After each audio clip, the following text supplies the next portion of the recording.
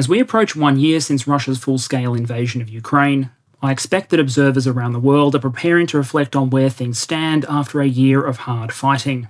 On the 15th of February, the chairman of the US Joint Chiefs of Staff, Mark Milley, offered his own summary. The general contended that Russia had lost strategically, operationally, and tactically. The Ukrainians fighting on in the trenches around Bakhmut.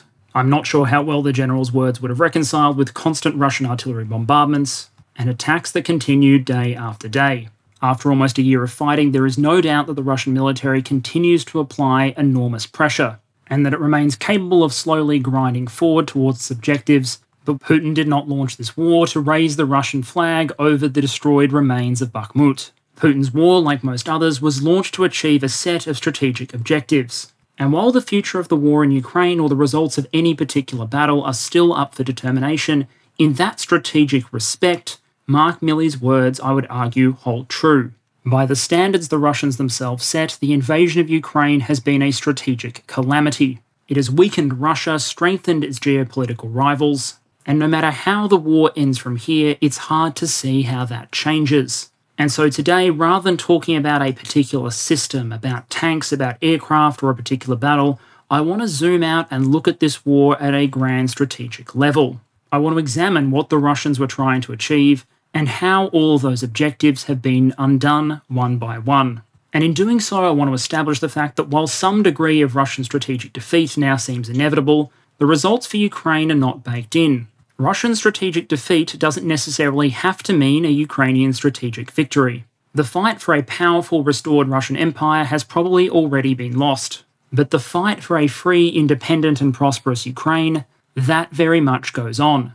So, in trying to break up this rather ambitious topic, I'm going to try and do a couple of things. First, I'm going to look at Russia's history of empire, whether it be the Russian Empire or the Soviet Union. I want to give some context as to how those states became so powerful, but also the kind of mistakes that led to their ending. It's history that I think is valuable to put some context around Putin's decision making in Ukraine. Then I'm going to try and define Russia's strategic objectives and doctrine approaching the Ukraine war not based on foreign or Western logic, but what on Russian sources have said about what they are trying to achieve. Having established what I think Russia's stated goals were, I'll then go on to show how they spectacularly sabotaged all of them over the course of their invasion in Ukraine. I'll even try to demonstrate that even if Russia wins a battlefield victory and achieves all of its stated war goals from this point on, it will still find itself in a far worse position than it was when the war began. Finally, I'll close out by looking at the war to come and what it means for Ukraine's strategic objectives. Because there, I would argue, unlike with Russia, the story very much remains to be written. And as is so often the case, we're going to start with a little bit of history because it's impossible to separate Russian grand strategic thinking and doctrine from Russia's long history as a great power. Almost every day on Russian state media, you'll see the same idea expressed a hundred different ways that Russia isn't an ordinary country. Russia is a great power. Russia is singular. Russia is an empire. Russia is an inheritor to a legacy that goes back to the Soviet Union and the glorious Russian Empire, and that as a result, Russia has a right, or indeed an obligation and a duty, to exert power in its surrounding territories. Questions around Eastern Europe, the Baltic states, or Central Asia are always phrased in terms of Russia's security or other legitimate interests, never in terms of the rights those nations enjoy to be free and independent. Moscow's voice, it is implied, is by far the most important, and that when Russia speaks, other countries on the global stage should listen. And if you look at both history and geography, you can see how that idea might have developed. There are a lot of things that go into determining whether particular nations evolve into great powers. Russia has enjoyed historically the benefits of many of them. Resources, population, and territory are all inputs into a nation's strategic influence, and if you go back to the Russian Empire in particular, the nation had all three in spades. In 1897, at a time when the United States was well short of 76 million inhabitants, the Russian Empire was home to 125.6 million people and rapidly growing. The Russian Empire commanded a truly massive amount of territory, and within that territory were bountiful natural resources, many of which would not be discovered until well after the empire fell. And the list of things that the Russians had going for them really could go on. For example, they had religious influence over much of the Orthodox world. They had cultural connections to Slavic populations across Europe. If real life were a video game, the Russian starting position would definitely be easy mode. But as history has shown, just because a nation has access to immense resources doesn't mean it's destined to succeed. History is full of empires who fell despite their nominal strength. In China, they still refer to the hundred years of national humiliation that began with the First Opium War in 1839. China was the most populous nation on the planet. It had a rich culture and a long history. But that didn't stop the country being repeatedly defeated and humiliated by foreign powers.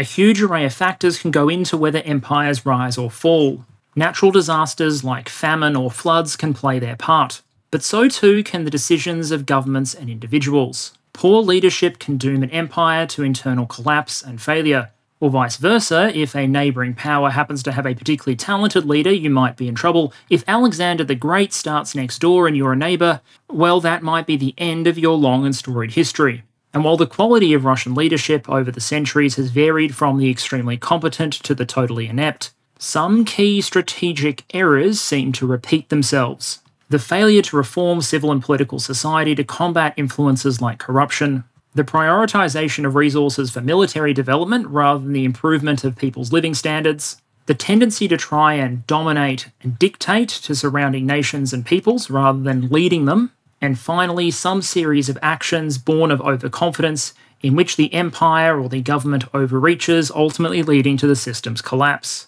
This is a grossly simplified picture of centuries of development and history. But in terms of understanding what's happened in Ukraine, I think there's a relevant pattern. To illustrate the point, let's quickly jump back to the Russian Empire itself of the pre World War I era. Despite having collapsed more than a century ago, you don't have to look particularly far to see Russian imperial symbols in Russia today. The imperial double headed eagle remains Russia's state coat of arms. And if you follow Russian right wing commentators on Telegram, you'll often see them refer to Russia's old imperial borders or its old imperial power. Strangely enough, often the same groups that practice Soviet nostalgia will also practice imperial nostalgia, despite the fact that, you know, the Soviets killed the Tsar. The important part is probably not ideology, but rather simply the memory of a time that Russia was strong. And the Russian Empire wasn't just strong, it was a rapidly growing and developing power. It's often pointed out that the Russian Empire pre World War I was horribly behind Western Europe in terms of its rate of industrialization or literacy or life expectancy. And all of those things are true. But what's also true is that Russia's industry was growing at a dizzying pace, as was its population. German strategic thinking before World War I often alluded to the fact that it would be better if there was a war sooner rather than later, because in the medium to long term, Russia's continued industrial development and military modernization meant that the country would face a greater and greater threat until it might be beyond Germany's ability to contain. On paper, the empire was backwards, but it had everything it needed to turn itself into a dominant power. But as with so many other great empires in history, Russia was its own worst enemy. Efforts to reform the government or fight corruption were anemic. For large parts of Russian history, some civil servants weren't even paid a salary because it was expected that they would make their money through bribes. In terms of resource prioritization, resources were poured into the military and into other state projects but efforts to raise the living standards of the population didn't exactly proceed apace, and that set the stage for the kind of popular discontent that would eventually lead to revolution. And then there was the manner in which Russia interacted with the various people within the empire who were not themselves ethnic Russians. And in that respect, the Russian Empire, particularly towards the end of the 1800s, embraced a policy of Russification, the idea that what all the people of the empire really wanted was to be Russians. It became state policy to do things like push orthodoxy and the Russian language into Poland at the expense of Catholicism and Polish. I'll leave it to the audience to imagine how well that one was received. And while Poland had historically been prone to rebellion, Finland was a different story. It's hard to imagine today where we all think of Finland as a proud independent nation, but for some parts of the Russian Empire's history, the Finns were regarded to be relatively loyal members of the Russian Empire the country enjoyed considerable legal and linguistic autonomy, and during the reign of Tsar Alexander II in the mid 1800s, development was quick and things were relatively peaceful. There's still actually a statue of Alexander II in Helsinki, but in the later years of the Russian Empire, all of that would be changed. Finland's legal autonomy would be swept away, Russian law would prevail, the Russian language would be promoted at the expense of Finnish, and conscription was expanded. The Finns referred to this as the years of oppression, and far from turning the Finns into loyal Russians, it turned loyal Russian subjects into separatists. The rest, as they say, is history. Defeat in the Russo Japanese War and in World War I would be the stress points that caused the Russian Empire to fracture. When it did, the peoples of countries like Finland and Poland would immediately seize their opportunities at independence. The civil war that followed would be a demographic and industrial disaster for the former Russian Empire. Millions died in the war and subsequent repressions before Soviet power was finally re established. But eventually, painfully re established it was. The Soviet Union would expand to absorb most of the territories of the former Russian Empire. And of all the republics that made up the Soviet Union, Russia was by far the most populous and most influential. For all the damage caused by the Russian Civil War, Stalin's policies, and the Second World War, the Soviet Union entered the 1950s and 60s as an undisputed major power. In 1960, the Soviet Union had a population of 214 million at a time where the United States only had 179. And even as late as 1989, it was the second largest economy in the world. While we often associate the Soviet Union with the economic and technological stagnation of its final years, through some of the early and mid Cold War, the Soviet Union was actually growing faster than many countries in the West, to the point where you can still find some intelligence assessments from the era suggesting the Soviet Union would eventually overtake the United States in economic output. After all, the USSR had a large industrial base, now a larger pool of exploitable raw materials and natural resources, particularly oil and hydrocarbons, and a large network of satellite states in Eastern Europe. But some of the very same themes and decisions that had undermined the Russian Empire would later come back to haunt the Soviet Union as well. Corruption and a crushing bureaucracy had a caustic, stagnating, decaying impact on the country and the economy over time. Falsified reports, stealing from one's workplace, all of these little acts of petty and organisational corruption just became the done thing the country poured immense resources into military heavy industry, building tanks and armoured vehicles by the tens of thousands, building one of the largest armed forces the world had ever seen, all to keep up with the threat ostensibly posed by the Americans and NATO. But whereas the United States economy could afford the arms build-up, the Soviet Union arguably couldn't, and the Union fell behind in other key areas, like consumer goods. There were plenty of tanks, jets, and armoured vehicles, but the quality and quantity of available consumer goods washing machines, sausages, cheese, clothes, things for people to spend their hard earned money on those were either in short supply or of low quality. Then there were acts of massive strategic overreach, like the war in Afghanistan. And again, just as in the Russian Empire, there was also the question of how the Soviet Union dealt with its satellite states or subject populations. Broadly speaking, there are two key ways to hold an alliance or an empire together by mutual consent or by coercive force. The Soviet Union tried both strategies, but often relied on the latter. Whether it was Hungary in 1956 or the Czechs and the Slovaks in 1968, the Soviet Union made it very clear to all involved that if you wanted to leave, well, that was just too bad. And rolling in the tanks in response to dissent didn't exactly win much goodwill. I mean, I don't want to be accused of being too glib here, but generally speaking, political systems that are doing a good job of winning their people over don't have to build walls and barbed wire in order to keep their people in. The combination of repression and economic stagnation meant that for ordinary people, there often wasn't much appeal either to the Soviet Union or to the Warsaw Pact. And so, the moment most people and countries were finally given a choice as to whether they wanted to be part of the Soviet or Communist project or not, well, they voted not. Gorbachev is often blamed for bringing down the Soviet Union by giving out freedoms that destabilize the fragile Soviet system. There may be some truth to that, but I have to ask the question would those freedoms have been so dangerous if everyone didn't already want to leave? I've often heard American and other English speaking apologists for Russia talk about Ukraine and describe the fact that there are parts of Ukraine which are naturally part of Russia, that Russia's territorial ambitions are understandable. But what I think that analysis misses is what the numbers say. In 1991, when Ukrainians were given a choice to vote for independence from the USSR, 92.3% of Ukrainians voted yes. Majorities were achieved in every single oblast, including notably both Crimea and the Donbass. Whether it was the Baltic states or Ukraine or the Central Asian countries, the moment the people of these areas were given a choice of freedom and independence, they took it with both hands. Those same old mistakes had felled yet another empire. But Russia hadn't run out of chances yet. The 1990s were a time of chaos, but they also began as an era of promise. Make no mistake, Russia in 1990 had suffered immensely from the breakup of the Soviet Union, but a majority of the population supported independence and they supported Yeltsin.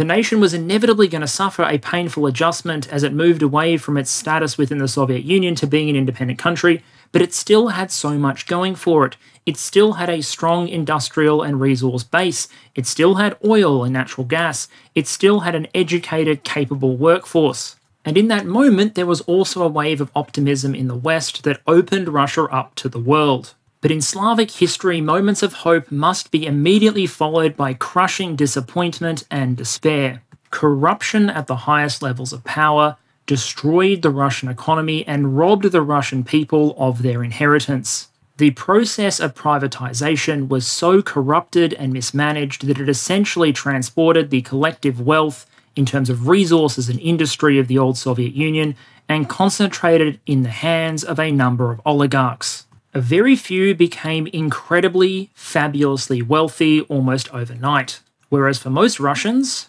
well, the story was of extensive inflation and extreme unemployment. Life expectancy, social outcomes, all of these indicators fell through the floor, as once again, a failure to control corruption or put the people first led to horrible consequences for Russia's regular people. As for the development of Russian democracy, it's usually not considered a good sign for a country's democratic institutions when army tanks start firing shells at the parliamentary building, which is exactly what happened in 1993. I won't dwell too much on this era, but suffice to say the Putin era followed, leading us slightly closer to the present day. I cover all of that history for a very important reason to show the power and influence that Russia has lost. The Russian Empire and Soviet Union both enjoyed privileged positions of influence on the global stage. And I think it's very hard to understand Russian grand strategy and doctrine without understanding the desire to reclaim at least some of that legacy. Because perhaps one of the biggest mistakes that an analyst can make when regarding a foreign power or a foreign decision maker is to assume that they think and value things exactly the same way that you do. If we're going to judge whether the Russian invasion of Ukraine was a strategic success or failure, we shouldn't judge it through the lens of what we might be trying to achieve in their position, but rather what they are trying to achieve. For example, Putin's government historically clearly hasn't been trying to maximize Russian living standards or economic growth. It has put aside hundreds of billions of dollars in foreign exchange reserves. It's invested extremely heavily in the military industrial complex rather than diverting those resources into productive infrastructure, or services for the Russian people. That suggests a different set of strategic goals, and we should look closer to try and determine what they are. And when many people think of Russian grand strategy, they're quick to point to the works of Alexander Dugin. Now, Alexander Dugin is an interesting character. He looks a little bit like Rasputin. After the fall of the Soviet Union, he helped found something called the National Bolshevik Party, which basically tried to combine ultra nationalist ideas with Bolshevism he would go on to write a number of influential books, including The Foundations of Geopolitics. As an aside, his daughter Daria was basically in the same business until she was killed in a car bombing in Moscow in August of 2022. Now, the foundation of geopolitics is taught at Russian staff colleges, and it's basically a how to book for how Russia should, if not conquer the world, at the very least dominate Eurasia. It includes the suggestion that Russia should make some minor adjustments to the international order in order to undermine American influence. In particular, things like Ukraine should be annexed as the state, Dugin contends, has no geopolitical meaning, cultural import, or ethnic exclusiveness. Geez, where else have I heard that argument lately? But at the very least, the Ukrainians would be kept in good company because they also wanted to annex Belarus, Moldova, and Finland, parts of Georgia, and the Caucasus, as well as Mongolia. Parts of the world that weren't to be annexed should, at the very least, in many cases, be influenced by Russia, and because, interestingly enough, because it was a threat hypothetically to Russia, the book also originally called for China to be dismembered and broken down into constituent states. Now, if that basically sounds like a batshit crazy instruction manual for borderline global conquest, you wouldn't be wrong. But while the title might be influential, it's important to note that Dugin's never been in the Russian government. His ideas aren't official policy. And so it would be unfair to read Russian government actions solely through the lens of his writings. Instead, I'd suggest looking at something a little bit more official the writings and thinking of the former foreign minister of the Russian Federation, Evgeny Primakov. He has featured in Russian official media, and back in 2014, Lavrov predicted that historians might coin a new term, the Primakov Doctrine. This was a set of principles and objectives that the former foreign minister had advanced as ideas to help guide Russian strategic decision making. So, when looking at an indicator of what the Russian government is thinking, I'm going to go with the former foreign minister as opposed to the Rasputin cosplayer.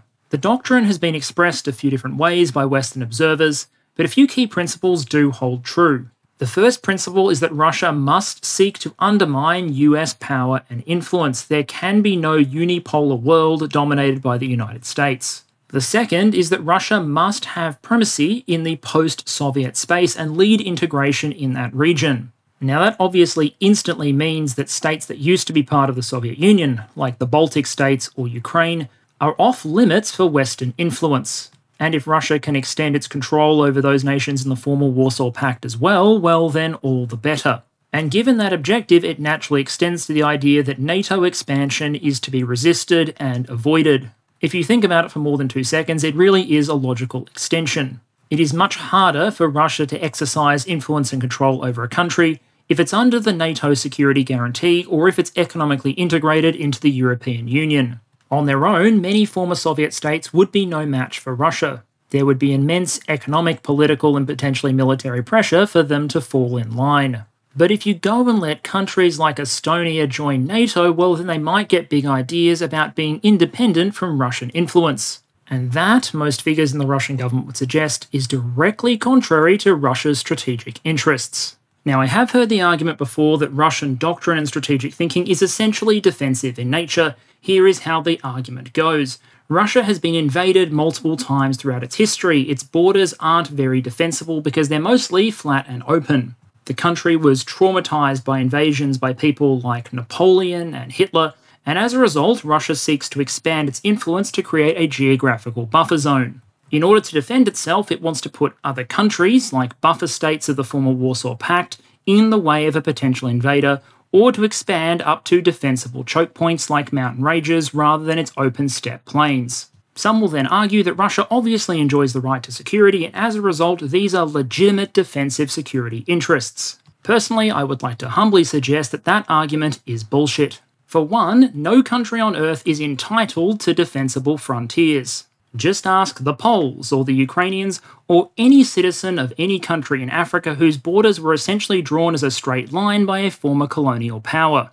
And giving Russia defensible frontiers would mean Russia ruling over or influencing a huge foreign population. Those countries, like Poland and Ukraine, also themselves enjoy a right to self defense and sovereignty and there's no principled reason that their right to exist should be sacrificed in order to make Russians feel a little bit safer. Especially since I would argue Russia was one of the least likely countries on planet Earth to be invaded by a foreign power. The Russians will often argue that there was a threat that NATO would attack Russia. My question essentially is how on earth would that force ever be collectively mobilized and convinced that, guys, it is time to invade Russia? And here's the kicker even if it did decide to invade Russia, would having additional geographical boundaries really help? Because while having a buffer zone in the former Warsaw Pact or Soviet states might have made sense as a defensive strategy against Napoleon or in the Second World War, nuclear weapons now exist. If there is a war of annihilation against Russia, it will be a nuclear conflict, either because the attacker deploys the weapons or because the Russians do and I've always struggled to understand why a country with the world's largest declared stockpile of nuclear warheads feels itself at threat of a conventional invasion. Because if NATO tanks were rolling towards Moscow, I expect the Russian reaction would be to deploy tactical nuclear weapons against those tanks. And given that the invading force isn't, you know, fighting on the Russian border but is instead miles from Moscow, you expect that most of the neutral powers of the world would look at that nuclear employment and go, yeah, fair play. This is the reason that former Russian Defense Minister Igor Sergeyev put forward the idea that resources should first be diverted towards Russia's nuclear deterrent. Because even if Russia was outmatched in conventional arms by the NATO alliance, the nuclear weapons could keep the Russian homeland safe. So, to me, any Russian doctrinal objective to annex or dominate surrounding countries is the result of something other than a legitimate defensive strategic interest. It's not something that can be legitimately called self defense. NATO expansion was a threat to Russian influence, not to Russian survival. But whatever the moral worth of those goals, let's take them as a given for helping to inform Russian strategy. They want to dominate the post Soviet space. As an extension of that, they want to weaken NATO influence and halt its expansion. They want to weaken American dominance and the unipolar world order. And they want to improve the strategic balance to better favour Russia. There are also strategic goals that they have enumerated in relation to Ukraine, but we'll get to those in just a moment. So now that we have some idea of what Russian strategic objectives and doctrine might be, let's have a look at some of how Russian policy leading up to the war in Ukraine advanced or weakened those objectives. Because I've often heard it argued that the war in Ukraine was inevitable, and I'm really not sure if I agree. Because if we go back pre 2014, relations between Russia and the rest of Europe and relations with Ukraine are actually pretty good. I remember watching the Victory Day parade in 2010, and you've got an image there of Ukrainian troops marching in the celebration. And you might go, hey, yeah, sure, that's a little ironic given current events, but not particularly surprising. Alright, well, here's a picture of the Poles marching on Red Square as well, and they were joined by the French, the Americans, and the British. I didn't see any Australians or Canadians in the lineup, but I'm guessing the Poms were flying the flag for all of us. I want you to look at that image of Polish troops being invited to march down Red Square, and then remember that that was less than 15 years ago. Something very clearly changed. Because if Polish troops found themselves on Red Square right now, I have a feeling they'd be going straight for the Kremlin. Events in Ukraine clearly helped galvanise this change. In 2014, a revolution overthrew the pro Russian president of Ukraine at the time, Yanukovych, after he pulled out of signing an incredibly popular association agreement with the European Union against the wishes of, well, most of the population. I don't want to go too much into the details of the 2014 revolution just because there's an awful lot of propaganda around it and it would take up an entire video. I'm just going to focus on Russian decision making in relation to that revolution. Because I'd argue Putin didn't exactly play his best 4D chess during that exchange. Firstly, it's reported that the Kremlin pushed Yanukovych to pull out from the association agreement, which helped spark the entire revolution. I'd argue that was clearly mistake number one. Mistake number two was when Yanukovych was allowed or encouraged to flee. It's hard for a president to claim they maintain their legitimate authority when they flee their country for a foreign nation. The third was how Russia chose to respond to the revolution. On the two extremes, for example, Russia could have tried to work openly with the new government, re establish its soft power and influence, and steadily regain influence and popularity in Ukraine. On the other end of the spectrum, it's entirely possible in 2014 that Russia could have, maybe under the justification of an invitation from Yanukovych to help restore order, sent the Russian army into Ukraine to occupy the country. The Ukrainian military was in such a dire state, and some of it would still have been pro Yanukovych, that it's hard to imagine the Russian military wouldn't have been able to achieve significant success. Instead, Putin opted for a less risky middle option. Russian troops moved into and annexed Crimea. Domestically, the annexation of Crimea was a massive victory for Putin's government and his popularity. And just as he had likely calculated, the response by Western countries to that annexation were incredibly anemic. But you can argue there were deep strategic costs associated with the move that weren't obvious at the time. For one, it changed the political calculus in Ukraine itself. A lot of the pro Russian individuals within Ukraine lived in Crimea, and they were no longer voting in Ukrainian elections, now they were going to vote in Russian ones it was going to become harder for Ukrainian politicians to take openly pro Russian stances because now Russia was occupying sovereign Ukrainian territory. And whereas NATO involvement in Ukraine was practically zero before 2014, all future training and security assistance activities would ultimately grow out of the occupation of Crimea and Russian activity in the Donbass. By openly deploying its hard power against the people of Ukraine, it sacrificed a lot of the soft power and influence it had over the country, and then acted all surprised when Ukraine continued to drift towards the west. Here's a tip that you can all apply in your own lives. If you want to make friends with your neighbours, don't knock down the fence and declare that you're annexing their backyard. And what made it all the worse is that Putin had previously gone in front of the media and declared that there was no territorial dispute over Crimea, and that he fully respected Ukraine's territorial integrity. But I'd argue even the annexation of Crimea probably wasn't enough to guarantee the strategic disaster that we now see. Russia had lost influence, but it had gained territory, and war wasn't yet inevitable. In January of 2022, I'd in fact argue that Russia was in a pretty good position strategically. Russian economic relevance in Europe was very real. Nord Stream 2 was going to come online, which would only increase Russian economic influence over Germany. The Russian military was greatly feared. There were a lot of articles coming out in think tanks basically saying that Russia could take Ukraine if they wanted.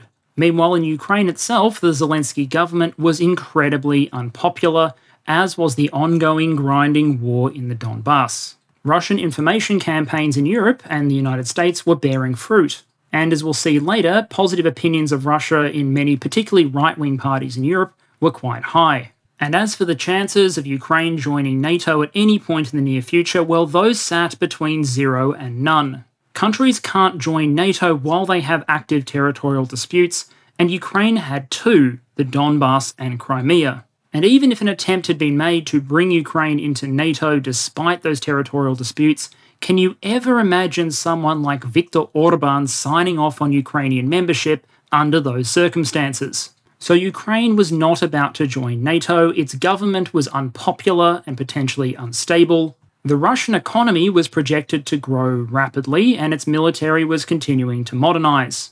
And while it's hard to speak with absolute confidence over hypotheticals, can you imagine if Russia had not invaded after America had screamed at the top of its lungs that it was going to do so? The Americans would have been made to look like a bunch of alarmists, desperately out to mobilize the world against Russia that wasn't actually being aggressive it would have gone further to weakening NATO unity that was already arguably at something of a historical low ebb. If you're looking for a clear and present danger to Russian security, you'll have to help me out here because I can't see one. Putin could have waited it out, continued to play the information game, made the Americans look like a bunch of alarmists, and try to rebuild influence in Ukraine over time. Instead, it was time for the good old classic mistake number four overextension and overreach convinced that the Western powers would do nothing, convinced that the Ukrainian government would fold, convinced that his military was one of the greatest in the world and capable of doing the job that he had set before it, Putin sent in the tanks. Which brings us finally to the question of how did the invasion play out and was it a strategic success? I know you've probably figured out my answer by now, but hear me out anyway. The answer, of course, is it was a complete bloody train wreck. The Russian army first bogged down and then lost much of the territory it had taken to Ukraine over the course of 2022. Visually confirmed losses were mind bendingly heavy, and they were driven by some of those same old mistakes we discussed earlier. A failure to reform government and society meant that once again, corruption and lies came into play. Corruption had weakened the Russian military, and a culture of deception and lies meant that Putin had an unrealistic image of how Ukraine would respond and how capable his own forces were. Meanwhile, Russian rhetoric and attitudes helped drive Ukrainian resistance. There was a lot of feeling of brotherhood at one point between Ukrainians and Russians. But Putin's rhetoric denied Ukrainian nationality, it denied Ukraine's historical existence, it denied its culture. It essentially cast Ukraine not in the role of a brotherly nation, but essentially as misguided mini Russians. And that approach went down about as well as Russification of Poland or Finland did in the far past. Finally, just about every aspect of the invasion, the idea that a country the size of Ukraine could be invaded by the Russian military under strength, pre mobilization, and somehow take the city of Kiev while also attacking in the Donbass, the northeast, and the south, all at the same time, well, it was the very definition of overextension and overreach. The Russian military had been given a task that was beyond its resources and it was about to be punished for it. But in the early months of the war, it still wasn't clear that Russia had done irreparable strategic damage to its own interests. I argued, I think, two months into the war, that Russia still had the possibility to get out of this without disaster. Because Russia's objectives in Ukraine had been so vaguely defined, Putin had said they were there to demilitarize Ukraine and to counter nationalist elements, well, those goals were so vague that they could basically achieve nothing, go home, and the Russian media could probably somehow spin it as a victory. That wouldn't be ideal, it would still be far more damaging than never having invaded at all, but it was still possible, it was still on the table. So, after several months of defeat and hard fighting, when European powers are talking about the desire to give Putin an off ramp, Putin looked at this completely viable off ramp wherein he could withdraw but still claim victory, rigged that off ramp with explosives, and blew it up. The moment I'm talking about, of course, is when Putin decided to declare that he was annexing the regions of Donetsk, Luhansk, Zaporizhia, and Kherson. Now, some might have been shocked by this announcement because when Russia had invaded Ukraine in February, Putin had been very clear about the fact that they were not there to grab territory. A few months later, they were announcing the annexation of territories larger than many European countries. But the annexation was more than just an act of political bravado. In annexing these territories, Putin had done something most politicians will fight to the death to avoid they had given people a measurable, objective mechanism to judge whether they were a success or failure. The original public goals for the invasion, demilitarizing Ukraine and, quote, denazifying it, were extremely vague. Demilitarizing Ukraine could mean something as simple as destroying a couple of pieces of military equipment and going home. Given that Ukraine wasn't run by a Nazi or ultra nationalist government, denazifying the country could mean literally anything, including achieving basically nothing. Arguably, simply withdrawing Wagner troops out of Ukraine would achieve the denazification objective because it would reduce the number of fascists on the territory of Ukraine. But annexing these territories now meant that any peace plan in which Russia didn't gain full control of these regions was now a strategic failure. And I think that it's at this point you can argue that Russian strategic defeat essentially became locked in. Of course, that's a pretty big claim to make, and whether or not you think Russia has suffered a strategic defeat depends a lot on what you think its strategic goals were. If the goal was to stimulate the Ukrainian scrap metal industry or provide a stimulus package for the US military industrial complex, then obviously the invasion has been a tremendous success. But it's probably fairer to assess success or failure through the lens of Russia's own strategic objectives. We talked about the Primakov doctrine before and its objectives, so let's apply them here. The invasion should undermine US power, influence, and hegemony. It should advance Russian domination of the post Soviet space, and it should weaken or resist NATO and NATO expansion. We'll also add to that the objectives that Putin himself put forward to the Russian public and to the world. Initially, this was the demilitarization of Ukraine and the removal of ultranationalist elements, followed a couple of months later by a declaration that this totally not a land grab war was in fact for the purpose of seizing control of four regions of Ukraine. And so it's those goals, the goals of the Primakov Doctrine, and the ones that Putin put forward to the public and the world, that I want to judge the Russian invasion against. Because no matter which one you look at, the answer isn't pretty. Now, in making that statement, I want to be clear about one thing. I don't know how this war is going to end. At time of recording, Russia is still attacking on multiple fronts and has significant military resources. Western support is uncertain, but also critical determining how far Ukraine is able to go in the future and how this war plays out. But my point essentially is that from the Russian strategic perspective, it almost doesn't matter. In order to prove that point, let's embark on a little bit of a thought experiment. And with great apologies to my listeners from Ukraine, let's imagine for a moment that Russia wins that Russia achieves everything that it says it has set out to achieve. Uh, in 2024, Tucker Carlson is elected President of the United States, Western support for Ukraine drops away, and after a grinding military campaign, eventually Russia is able to take full control of Luhansk, Donetsk, Zaporizhia, and Kherson. Without Western support and pressured by the Russian military, Ukraine signs a treaty which commits it to never joining NATO and becoming a neutral in inverted commas state. Somehow, Russia convinces countries around the world to recognize the annexation of these additional regions,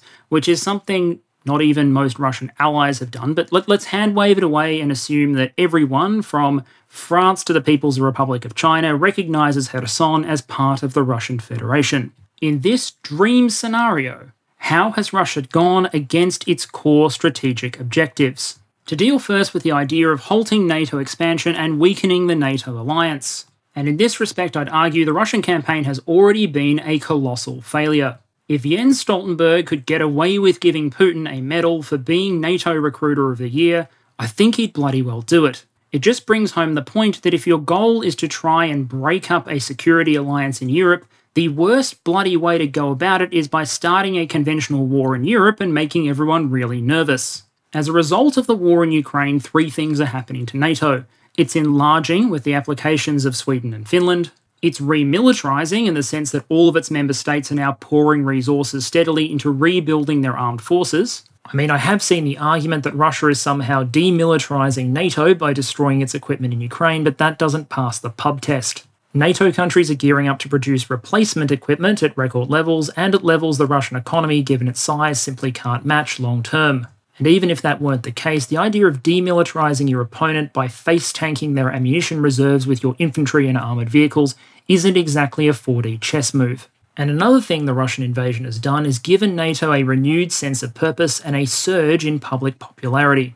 NATO skepticism was a real phenomenon, both in the United States and in some countries in Europe. But for some reason, the sight of a non NATO European country being attacked by the Russian Federation seems to have motivated everyone else to group up a little bit tighter and to build more guns. In terms of the net impact on the conventional military balance between NATO and Russia, I would argue that on this basis alone, even a Russian victory in Ukraine would be a strategic defeat. I mean, the newly elected president of the Czech Republic is literally a former general who used to be the chair of the NATO Military Commission. Geez, I wonder what his opinion on NATO and the threat from Russia will be. I'd also argue that closer ties between Ukraine and NATO are more likely now than they were before the invasion.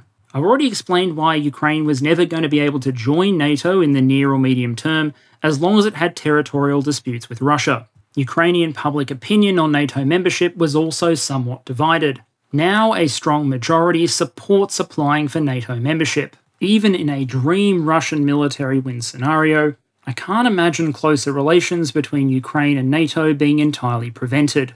War and the threat of war is a pretty strong motivator. And then there's the goal of undermining American influence, and it's this one that I find particularly ironic. One theme that I've noticed in commentary that excuses Russian operations in Ukraine is their comments and views don't tend to recognize Ukraine as an independent sovereign actor. They only view Ukraine as an extension of the United States. It's almost as if Russia isn't attacking Ukraine, it's attacking the US and US influence. Now, that view is obviously wrong. The people of Ukraine are independent human beings with their own decision making faculties. They have a right to self determination and sovereignty. But even if you buy into all of that logic, the conflict has actually boosted US influence rather than undermined it. Europe's transition away from energy dependence on Russia has pushed it towards an energy dependence on Europe. Where do you think a lot of the LNG that is now powering the continent is coming from? It's coming from the United States and it's coming from Qatar. Then there's been the massive boom to the US arms industry, which is going to be one of the main beneficiaries of countries around the world who now perceive a security threat buying up capabilities as rapidly as possible. A lot of the spending that European countries and countries around the world will now do will be directed towards American arms imports. And the damage to Russian arms exports opens up opportunities for American exporters in countries that used to be sewn up by the Russian market. Countries like India are definitely in the crosshairs. And then there's just the focus on security alliances in general. The sight of a modern conventional war in Europe has made a lot of countries very nervous. It's put a lot more focus on the idea of preserving their security. That's benefited American interests in two key ways. Firstly, when countries need a security partner, the Americans are the obvious partner.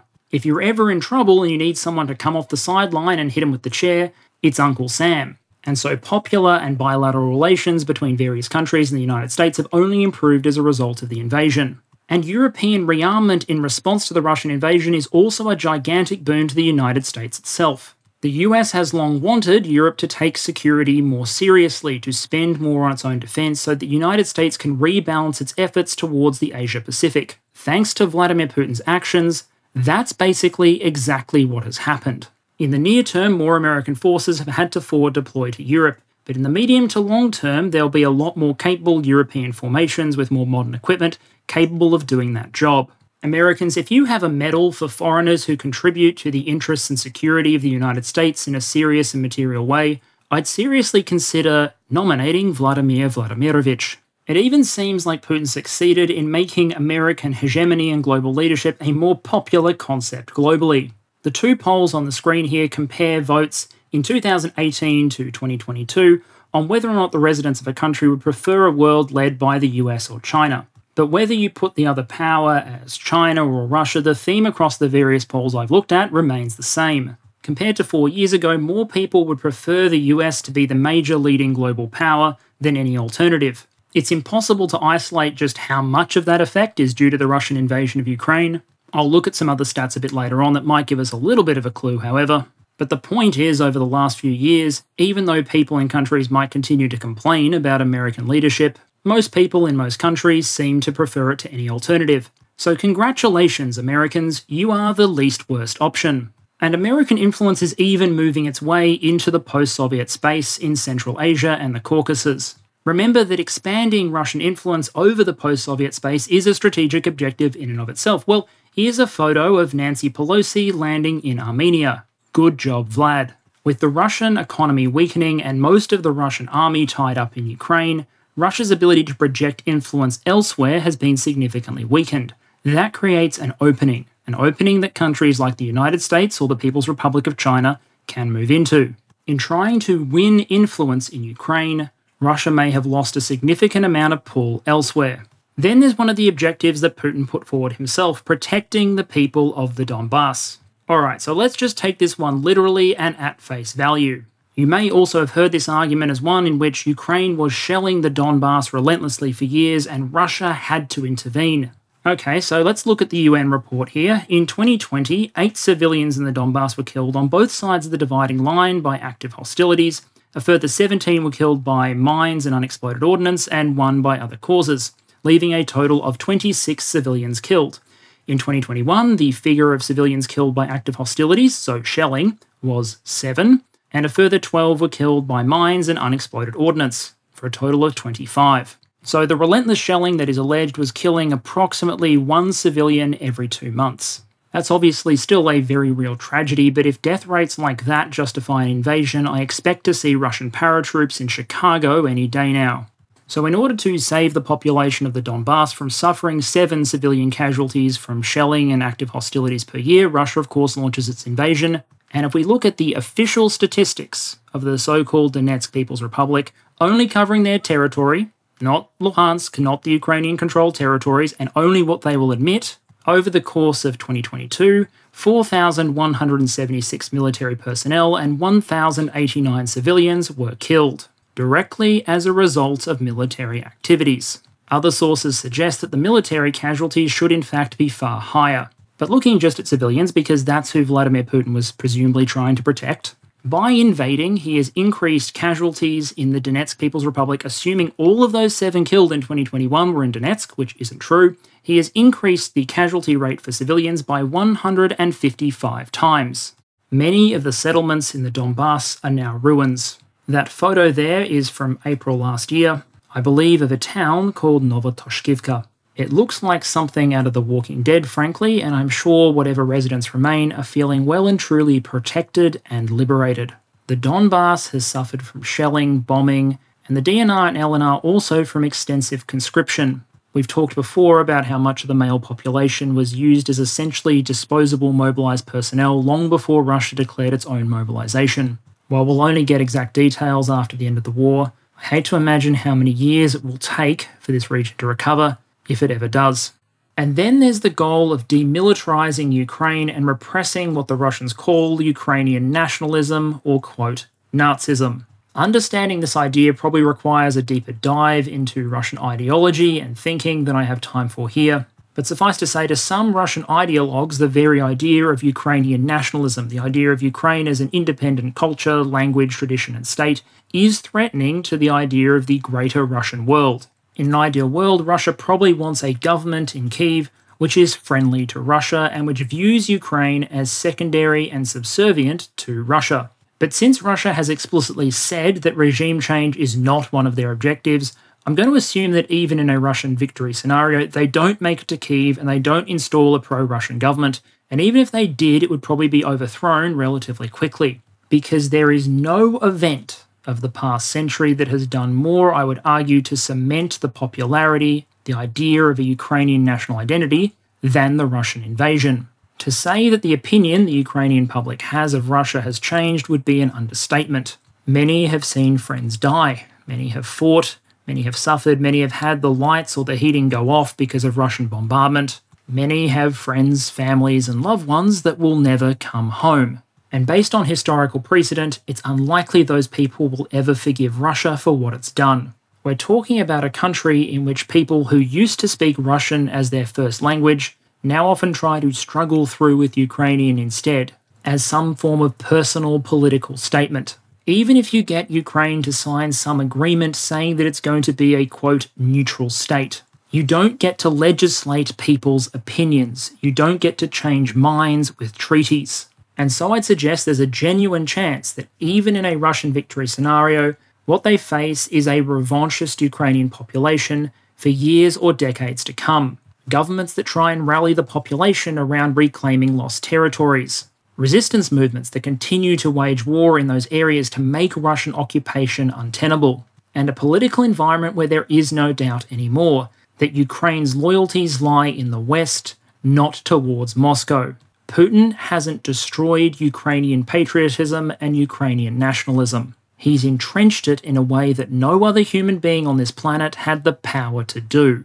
And some of that threat, in terms of changing opinions and attitudes, we're already seeing bear fruit. Ukraine isn't waiting for the end of this war to become more economically, politically, socially integrated with Europe. That process is happening right now. The Ukrainian power grid is now synced up with the European one. The number of train lines and physical connections between Poland and Ukraine have been expanded over the course of the war. Agreements on reduced friction in trade and customs are taking place, bringing Ukraine into closer and closer alignment with the European Union. And then, of course, there is the matter of human movements and influence. Millions of Ukrainians currently reside in the European Union. They have a voice, They've found a temporary home during this horrible crisis, and overall, Europe has been happy to take them. Connections aren't just forged between nations, they're forged between populations, they're forged between people. And that process doesn't get reversed just because Russian troops take another basement or apartment building on the outskirts of Bakhmut. And for all this, what does Russia get in return? What is it taking to counterbalance the changes in the overall strategic environment? Often I've seen it argued that the economic value of the regions that they're trying to annex would be more than enough to pay for the cost and casualties of the war. After all, some of these regions do have abundant natural resources that could hypothetically be exploited. But there's immense problems with doing so. The first is just the scale of destruction and depopulation. A lot of the infrastructure has been ruined, the buildings destroyed, and a lot of the people have left because they don't want to be part of this Russian world. Often, those that remain are going to be those who don't feel they have anywhere else to go, which tends to be the older people. Your average Slavic pensioner is pretty formidable, but they're not the basis of a functional economy. And then there's a million other issues as well. Who is going to pay for the reconstruction of these regions? How will you attract foreign investors now that Russia is a pariah state? If you do extract energy resources like gas, for example, who are you going to sell it to? Certainly not the European Union. And how are you going to safely develop these resources when you have to assume there's going to be some sort of war of resistance or hybrid campaign from whatever Ukrainian state remains? Do you really want to build a gas refinery in occupied territory when every third Ukrainian knows how to drop a grenade from a drone? The reality is that no amount of conquered territory is going to compensate for the deep wounds that have been inflicted on the Russian economy. Russia's access to Western investment, Western technology, and Western human capital has likely been significantly reduced. Given the fact that so many investors in Russia lost their shirts after the invasion, I doubt they're going to be rushing to send capital back in. Then there's the loss of energy infrastructure and a valuable client. A lot of that pipeline infrastructure that cost billions of dollars and decades to build that was designed to transport energy to the European Union, that's basically now useless. And even if new infrastructure can be built to transport Russia's energy resources to, for example, China, if China is the only buyer, if there's no ability to encourage competition between Asia and Europe, well, then China and Asian buyers are going to be in a position to dictate the price. Add to that massive losses in human capital from people fleeing the country, leaving because of mobilization, or being killed or wounded by the war in Ukraine, and you have a relatively dark picture for the Russian economy. It's easy to focus on relatively small contraction numbers for the Russian economy, 2 or 3%, for example, doesn't sound like that much. But considering the Russian economy was expected to grow strongly every year for the next several years, it's actually a significant loss. And the GDP figure doesn't adequately capture the loss of wealth and also the destruction of the stability of the Russian budget. The Russian budget has swung from surplus to deep deficit, and unless oil prices dramatically increase and stay elevated, it's hard to see how that will change. Especially if this war has to carry on for some time, and afterwards the Russian military has to be rebuilt. And rebuilt it'll have to be if Russia intends to use it as a vehicle for coercive power in foreign engagements, because the Ukrainians have done a pretty good job of wrecking a significant portion of it. A lot of Russia's best equipment and most modern tanks and armoured vehicles are already visually confirmed losses in Ukraine. But in some ways, that's actually the less significant loss. Russia's endurance in this war so far has only been enabled by the tremendous amount of spare armour, artillery, and ammunition that it had stockpiled before this conflict broke out. That was part of Russia's Soviet inheritance. Many of those stored vehicles dated back well into the era of the Soviet Union. The modern Russian economy couldn't produce thousands upon thousands of BMPs, and so that equipment, that staying power, has had to come from storage. As a trick, that only works once. Once the bunkers are empty and the storage fields are depleted, that's it. The ability of the Russian military to regenerate will be limited by the speed at which Russian military industry can produce new equipment and the degree to which the budget can afford to fund it. And given the disparity between the size of the Russian and European economies, that doesn't bode well for the overall security balance. And in terms of soft power and Russia's international opinion and influence, well, you can probably guess what the numbers say. Russia has historically put a lot of effort into influence operations, trying to win over members of the public, influence elections, or members of political parties. That's important because it's one of the mechanisms by which it breaks up opposing geopolitical blocs. And if you look at the statistics, you could argue that as recently as 2020, it was working. In some European countries, significant portions of the population had a positive view of the Russian Federation. 48% of Greeks, for example. 30% of the Germans or 31% of the Spaniards. But after the invasion, that was all gone. Russia had tried to sell itself as a counterbalance to American influence. But now it just looked like a military aggressor and its approval ratings fell with it. The approval rating in Poland dropped to 2%. Support in Greece fell from 48 to 14%, and support in countries like Germany roughly halved. This doesn't mean 100% of the populations of these countries necessarily support sending an unlimited amount of weapons to Ukraine, but it does mean their support of and their favourable view towards Russia has almost completely evaporated. And the effect is particularly startling when you look at the polling of people who support some of Europe's more right wing parties. Now, I don't define these parties as right wing, it's survey data according to the Pew Research Centre, but there it is. Back in 2020, there was reasonably high levels of support for Russia amongst voters who voted for some of these parties, Often that was because Russia presented itself as a cultural counterpoint to an international liberal agenda. But that doesn't mean these voters were willing to ignore the invasion of Ukraine.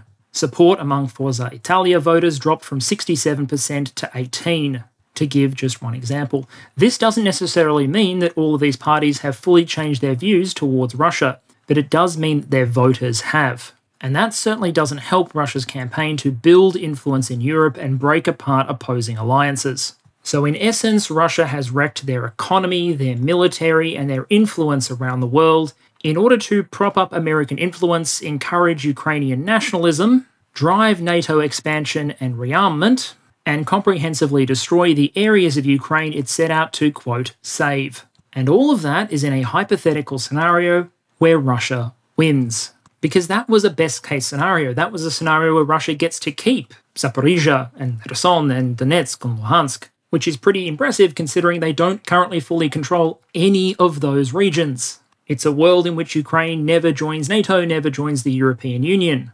And while I don't claim to predict how this war will end, that seems incredibly unlikely. The reasons for that are myriad. You could argue it's because Russian military advances, when they currently happen, are usually measured in meters, not in dozens of kilometers. Yevgeny Prigozhin himself has come out and said it'll probably take Russia literal years just to take the Donbass, to say nothing of reclaiming Kherson or taking Zaporizhia. If you assume the only way for Russia to win, and I think the only way for Russia to win is for the Western countries to pull their military and economic support for Ukraine, well, that's much less likely in a universe where Russia is pursuing maximal war aims. If Russia says, hey, we will go home if you pinky promise to never join NATO, then a lot of Western countries would go to Kiev and go, hey, do you want to at least consider that one? But if Russia says we're going to annex swaths of Ukrainian territory, enforce neutrality, and then probably have another go at Ukraine in a number of years, well, in terms of both strategic terms and in terms of politics, that's going to be really unpalatable to a lot of Western leaders. It'll be much cheaper, politically and economically, to just keep up support, and similarly, Ukrainian resistance too. So, taken together, I'd suggest the chances of Russia quickly and efficiently achieving its maximal war goals are about the same odds as this video has of having a 100% like ratio. Hypothetically possible, but I would bet my life savings against it. And yet, the longer the war goes on in pursuit of those maximal objectives, the more destabilized and tired Russia will become. I've said before that Russia has the financial and military resources to carry on this conflict for some time, but those resources aren't infinite. And with every ruble spent and every bunker emptied of its stored ammunition or hardware, Russia will become that little bit weaker. That doesn't mean, of course, that the Russian Federation is likely to immediately collapse. I don't even think, for most Western strategists, that's even a goal. I think it's a terrifying concept to most of them. The potential of thousands of loose nukes and global economic disruption isn't particularly high on anyone's priority list. But just because it doesn't collapse doesn't mean its strategic influence, its position in the world, isn't diminished. A Russia that comes out of this war, even a Russia that wins this war according to its own definition, is more isolated, poorer, and weaker. It's a country more isolated than ever from its former primary market, the European Union, a market it will never get back, and one that is more dependent than ever on Beijing's support. Now, if you listen to the first part of this presentation, you might think that that sounds a little bit doom and gloom on Russia's future. After all, you might argue, Perun, Russia has always bounced back in the past, hasn't it? The Russian Empire survived an enormous number of reverses before it finally collapsed, and also the Soviet Union, it survived the German invasion, was able to rebuild itself into a global power. By comparison to the destruction of World War I or the Second World War, there's no comparison to the war that's currently being fought in Ukraine. So why shouldn't we expect Russia to just rebuild itself back up to great power status yet again? The answer is that there's only so many times you can come back from the dead, and the world has changed.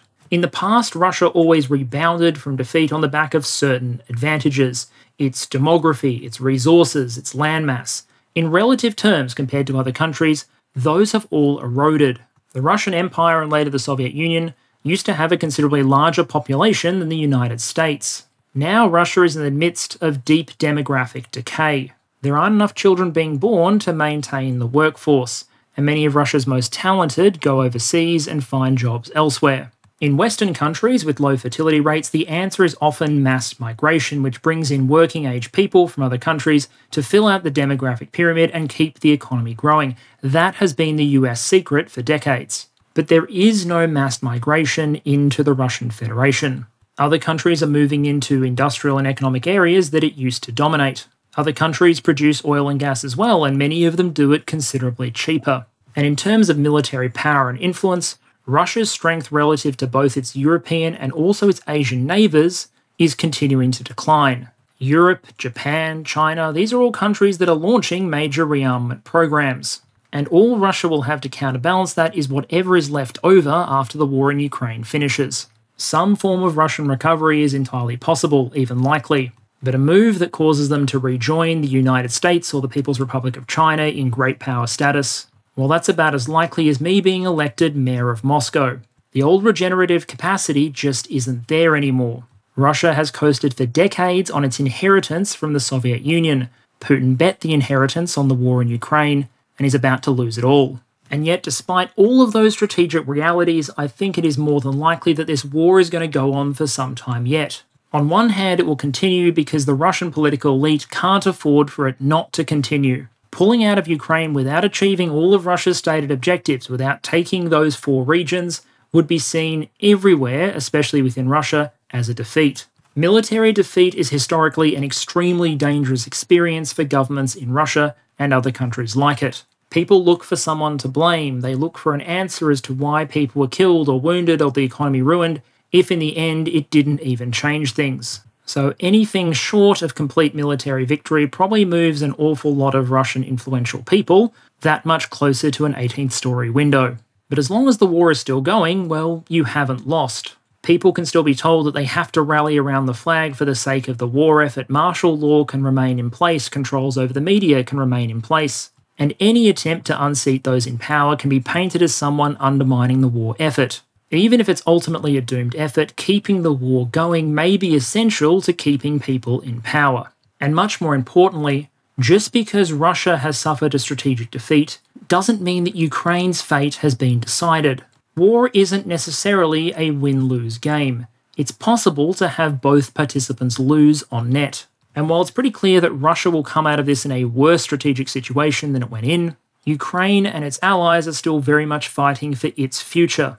At one extreme, for example, there exists a scenario where Ukraine regains all of its sovereign territory. It secures a recognition of its territorial integrity and its sovereignty, it's free to apply to join NATO and put itself on the path to European Union membership. It receives reconstruction funding and modernisation assistance from the West, and it builds itself into a part of the European security and economic infrastructure. Even in that scenario, Ukraine will be deeply wounded. It will have lost people, a lot of people. Its infrastructure will have suffered extreme damage. There will be a trauma that sits with its population potentially for a generation. But based on the conversations I've had, I'm convinced that most Ukrainians would look at that outcome and call it victory. At the other end of the spectrum, there's a scenario in which nothing is solved, the conflict is frozen, and Ukraine is left with all of these casualties and damage, knowing that it's just going to have to do it all again in a couple of years. That scenario may not be considered a victory for Russia, but I'd hardly call it a win for Ukraine either. I think it's almost certain that leaders in the West and in Kyiv know exactly that. They know that how this war ends matters. And while the media tends to focus on who's gained how many metres in the Donbass day to day or week to week, I have to hope that political leaders know better. That the strategic implications of this conflict stretch well beyond military control of metres of territory in the east of Ukraine. And it's also why I would probably bet that Ukraine's soldiers will continue to fight on despite casualties, despite hard conditions, despite the might of the Russian army that opposes them. Because while Russia has already, almost from the moment it stepped into Ukraine, suffered a strategic defeat, the fighting to come will determine whether Ukraine does as well, or finds at the end of the tunnel something that deserves to be called victory. In conclusion, Russia has a long history of being a great power and an empire.